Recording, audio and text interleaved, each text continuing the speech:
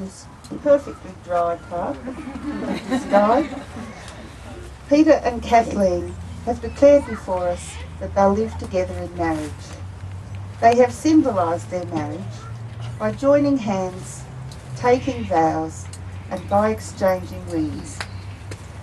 So, on your behalf, I now have the very great privilege and pleasure of declaring them to be Werman and Whitman.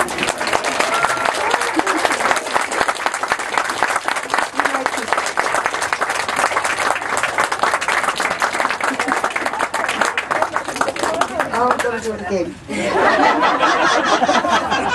you need the practice.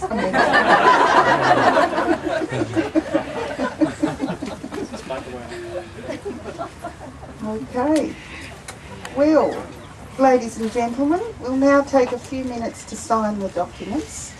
And during that time, the Bella chorus will sing for us Gabriella's song.